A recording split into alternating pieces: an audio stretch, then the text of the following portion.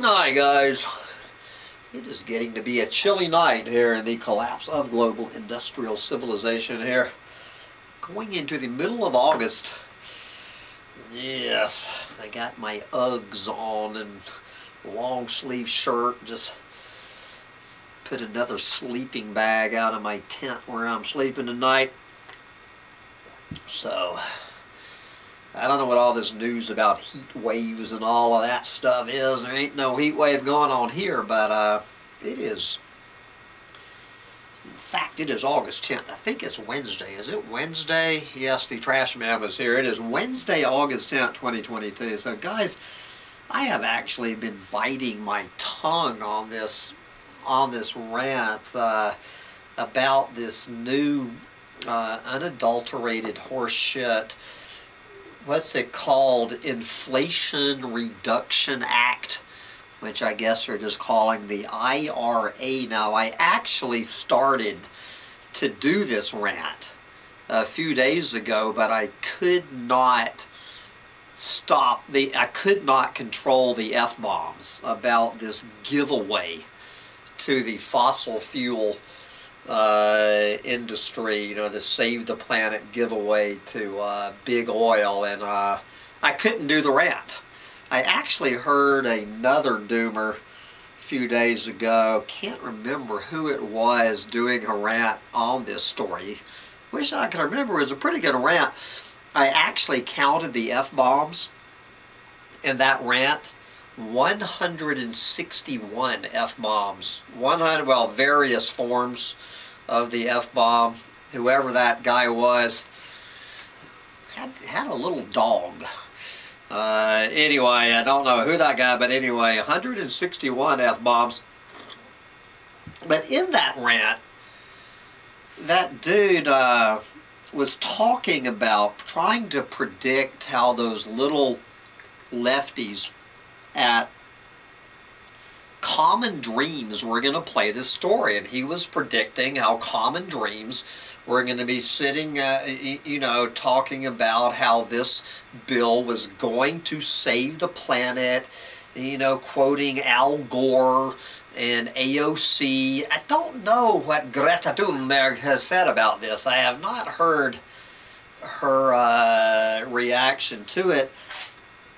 And then I open up Common Dreams, and they have finally uh, come out with their own story. My guess is this story was probably held up on the editorial desk. It's this little hottie, uh, Jessica Corbett. She looks like she's about Greta Thunberg's age. And uh, so Jessica has uh, done her homework. This young lady has done her homework, and I guess, uh, unbelievably, Common Dreams. I'll have to say, Common Dreams has had a shot of testosterone. Good for them.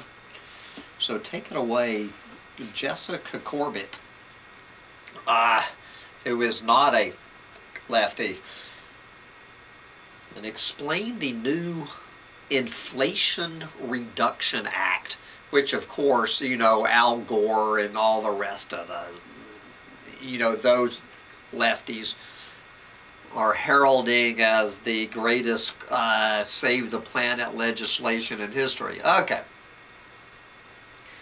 Historic climate bill, say clear-eyed critics, still pours gasoline on the flames, which is exactly what this bill does. This bill is just a, a gift to big oil on a silver pla- uh, on a silver platter. It was it's not a compromise. It is a sellout to the oligarchy running this country. it, it is just the latest slap in the face to everything from a, uh, and I use it with a small d, democratic process right on up to the planet. Uh, this is just, it's an insult to anybody's intelligence. Sancho Panza's intelligence, I think even Tigger Trump has been insulted But anyway, uh, we're going to let Jessica Corbett uh, interview, what did she call them? Clear-eyed critics. These are what the clear-eyed critics, how they are uh, interpreting this. While many environmental advocates celebrate the Senate Democrats' climate deal this week, frontline activists, frontline activists, and more critical voices continue to note that the new legislation, whatever its promises and upsides, remains an inadequate response to the global emergency. Do you think so, darling? An, in, an inadequate response to the global emergency that will likely further harm community, which will likely further harm communities already affected by fossil fuel pollution. Yeah, like any community uh, on the planet the Senate approved the Inflation Reduction Act, now known as the IRA, in a party line vote on Sunday and is expected to pass the Democratic controlled House as soon as Friday. Writing for Jacobin, J A C O B I N, I don't know, uh, I guess we're supposed to know what that publication is.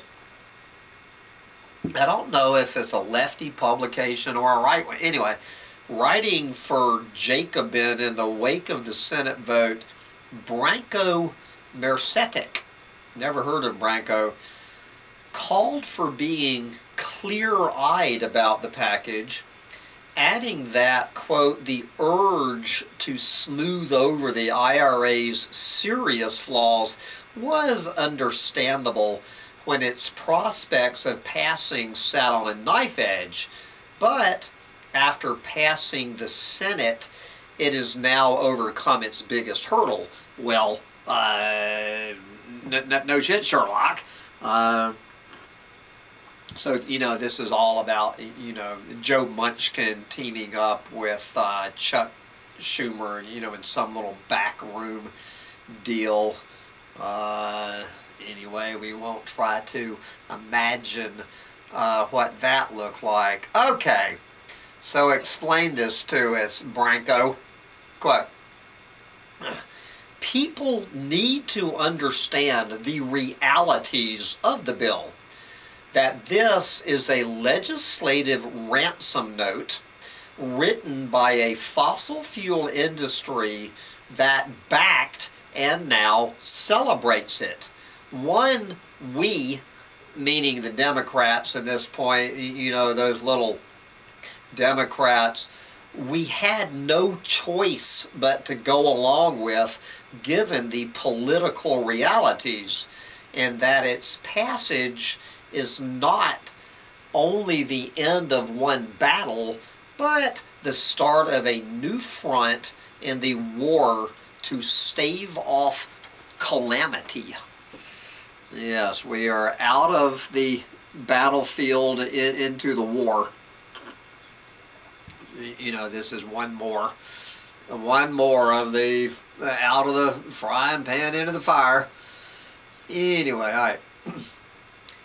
Framing the, Sen the Senate passage as a, quote, bitter triumph, a bitter triumph. There you go the New Republic's Kate Aronoff noted that the bill is, quote, a historic achievement and vitally important given that Democrats may not get to govern again for a decade. yes, but it also consigns more people to living next to more fossil fuel infrastructure for longer. Yes. Uh, do you think so? The this is still uh, whoever Kate Aronoff is.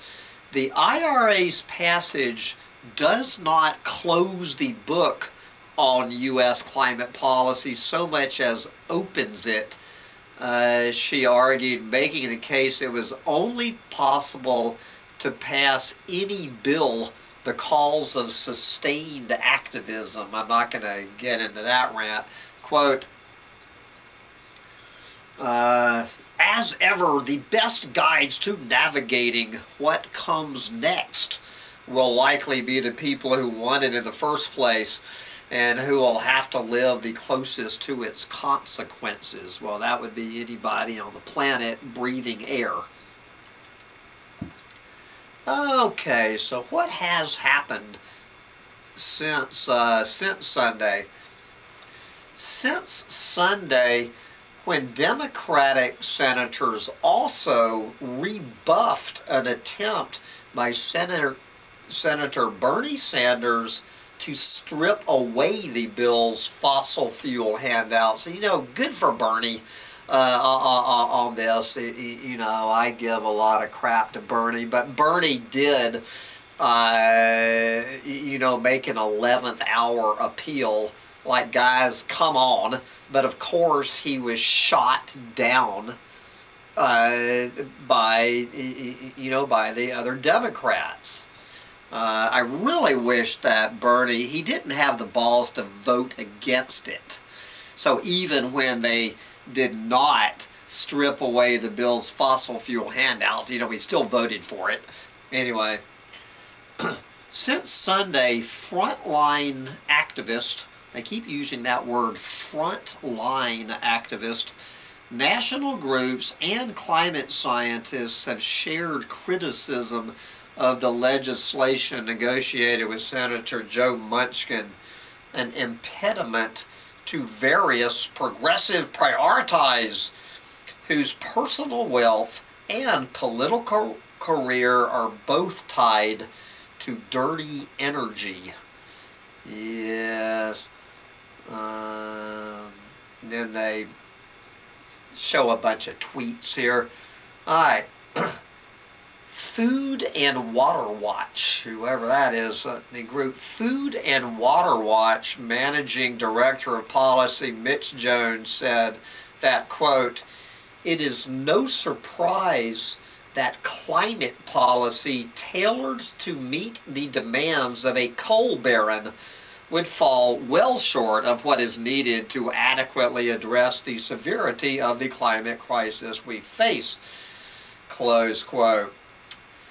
While the IRA includes about $369 billion in what is called energy security and climate change investments, the bill, this is, I guess, still quoting this Mitch Jones fellow, the bill devotes billions to industry schemes like carbon capture, which exist solely to extend the life of the fossil fuel industry. And this was the point that that other doomer in that 161 F-bomb uh, laden rant was pointing out last week. That does anybody fail to grasp this bullshit carbon capture technology. Okay? It is what did this Mitch Jones fellow, how did he word it? Which exist solely to extend the life of the fossil fuel industry. Anybody who thinks that carbon capture and storage uh, is, is some way to fight big oil. Uh, probably, you know, people who think, uh, well, that uh, Joe Biden is a socialist, maybe. Uh, thank you, Mitch Jones, for pointing this out. That's a whole nother rant for another day. The bill also conditions using federal lands and waters, otherwise known as our public lands and waters, to expand wind and solar on fossil fuel leases and specifically enables future drilling in Alaska and the Gulf of Mexico that the Biden administration previously prevented. One more time, do we get this? Thanks to this bill, there will be more, not less, oil and gas drilling in Alaska and the Gulf of Mexico. The, the, the, the, same places that Biden acted like that he was locking up. Uh, th th this Munchkin dude uh, is laughing all the way to the bank. Okay, what are the what are these uh, people up there? These these uh, whatever you want to call them, the noble savages up there in uh, Alaska. This is Sikanik Malpine uh, one of these indigenous activists, quote, this new bill is genocide. There is no other way to put it. This is a life or death situation, and the longer we act as though the world is not on fire around us, the worse our burns will be. Close quote. Uh, and then this is a tweet from Bill McGuire. I just did a, uh, I just did a Sunday sermon, I believe, from Bill McGuire recently. One of these climatologists over there in England. This is what Bill McGuire, a climatologist Bill McGuire, has to say about this. Quote, as more details are forthcoming, it is clear that this bill is not quite what it seems. Fossil fuel corporations are laughing all the way to the bank as billions in tax breaks are shoveled their way and new drilling and pipelines given the green light. Truly dismal and I notice here in the mainstream media, there is an article already about one of these, good Lord, there's so many of these pipelines. Uh, that already one of these big controversial pipelines, uh, you know, there's a big fight going on about it. I can't even remember which one.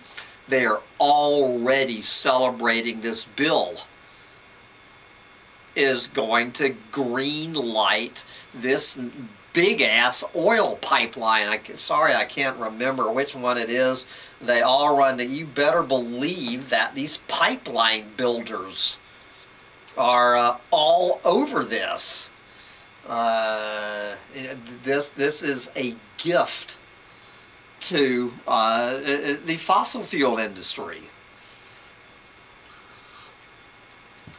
Okay, back to this. I like this Jones guy. Uh, if I if I ever uh, get back into interviewing, I'm going to have to interview Mitch Jones. Okay, citing the quote already abundant evidence that investing in clean renewable energy does not in and of itself displace fossil fuels any adequate climate policy must directly confront, you know, the dirty energy sector. The fact that oil and gas executives seem pleased with this legislation speaks volumes about its glaring shortcomings. Activists and frontline communities will continue fighting to stop fossil fuel corporations that threaten our air, our water, and a livable planet. Okay, I figured Center for Biological Diversity would have their panties in a wad over this giveaway to big oil, and you better believe they do.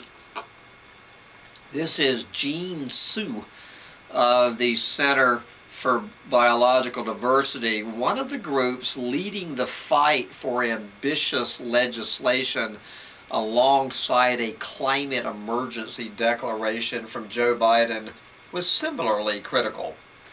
Okay, what do you think, Gene? Quote, this, you know, the, the IRA was a backdoor take it or leave it deal between a coal baron and Democratic leaders in which any opposition from lawmakers or frontline communities was quashed. It was an inherently unjust process, a deal which sacrifices so many communities and does not get us anywhere near where we need to go, yet it is being presented as a savior legislation. A savior legislation. That's exactly, you know, listening to Al Gore. Oh. So, you know, of course, Monday morning, uh, what do you think was the number one story on the planet, which I managed to ignore? The number one story on Yahoo News was Al Gore trumpeting uh, this uh, handout to big oil as you know this legislation that is going to save this planet. Uh, if, if you had one shred of respect left for Al Gore, which I can't imagine anybody on this channel has, uh, I, I did not even insult your intelligence by reading that crap out. Okay. uh, on Tuesday, indigenous lawyer Tara Houska, public citizen president Robert Weissman, and Bishop William Barber of the Poor People's Campaign appeared on Democracy Now! to voice their concerns about the bill, and that is, well, they, that's a video clip from, uh, from Democracy Now! Uh, talking uh, uh about the very, you know, the very notion of democracy. Uh, this is corporatocracy this is oligarchy. Uh, it has nothing to do with democracy. Okay, I knew we'd have to get to Greenpeace here. Greenpeace also directed attention to those who will be most affected by future fossil fuel production, saying the IRA is a, quote, historic climate investment, but pours gasoline on the flames, close quote. Uh, Ebony Twilley Martin, Greenpeace uh, USA's co-executive co-executive director, called the bill, quote, a slap in the face to the frontline communities, grassroots groups, and activists that made this legislation possible. The IRA is packed with giveaways to the fossil fuel executives who are destroying our planet. It sacrifices the same people who have always borne the brunt of oil, gas, and coal infrastructure and climate crisis. Yep, yep, yep. The Greenpeace leader added that a side deal on reforming the federal permit process for energy infrastructure, quote, is simply a, dis a disaster, but that is what happens when the industry responsible for climate change also calls these shots on climate policy, close quote. And, you, you know, good for her. That's a, a another thing that this bill, uh, what it does is it accelerates, accelerates the permitting process for oil and gas drilling uh, on our public lands. It will now be easier than ever thanks to this historic climate uh, bill that Al Gore and, and all of those uh, idiots are trumpeting over there at the mainstream media. Uh, it will be easier than ever, okay, to drill for oil and gas on our public lands. And, it's, and we're talking about uh, in Alaska and in, offshore, uh, you know, both offshore and up in Alaska. All right, here is Center for Climate Integrity President Richard Wiles also emphasized industry influence, huh? Suggesting that while record-breaking heat waves, floods, wildfires, and droughts should inspire a bolder bill that does not prop up polluters quote, the long shadow of big oil's climate deception hangs over this legislation. The reason it has taken Congress decades to pass even this modest bill is because the fossil fuel industry continues to wage a relentless campaign of disinformation, deception and dark money to block climate progress and keep the nation hooked on its products. I am I will fully admit I am as hooked as anybody on this planet on the fossil fuel industry's products. Uh, life would suck without the fossil fuel industry's products. It really would. Okay. Uh, let's see. We're going to skip over some of these tweets. I, mean, I'm skipping over some of these people. All right, here is...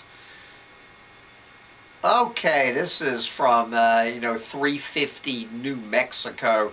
Tom Solomon and Jim McKenzie, co-coordinators of 350 New Mexico, concurred that, quote, the Inflation Reduction Act is a stark example of the naked corruption of government in Washington, D.C. The continued ability of the fossil fuel corporations to buy their way into business as usual in the face of accelerating climate catastrophe is alarming and depressing.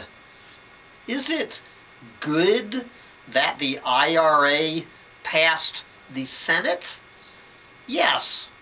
Is it an insult to frontline communities. Yes, as climate activists, we will continue to oppose any expansion of fossil fuel infrastructure, including the proposed fossil hydrogen hubs here in New Mexico. I'm a little bit confused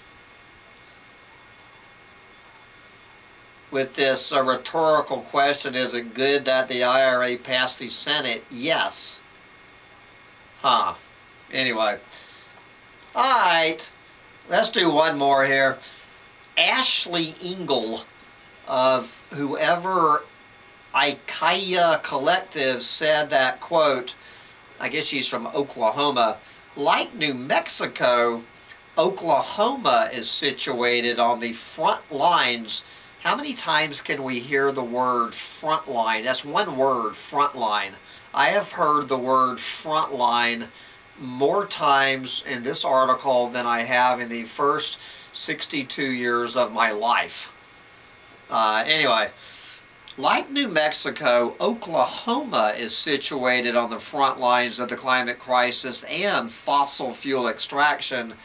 We don't have the luxury of accepting half measures or negotiations when our people are dying with Congress applauding their vote to turn communities like mine into sacrifice zones through the Inflation Reduction Act. The imperative is now squarely on Joe Biden to do what is right, to unleash his executive authority, and to declare a climate emergency. Yes, I'm sure that will uh, that will save the planet. So, uh, guys, obviously, uh, I'm I'm not going to get off uh, onto the whole flip side of the rant. Uh, since, to their credit, uh, Jessica Corbett and and Common Dreams never mentioned what the bill supposedly does to help the climate since correctly they put their attention on what it's going to do to keep destroying uh, the climate and the rest of the planet.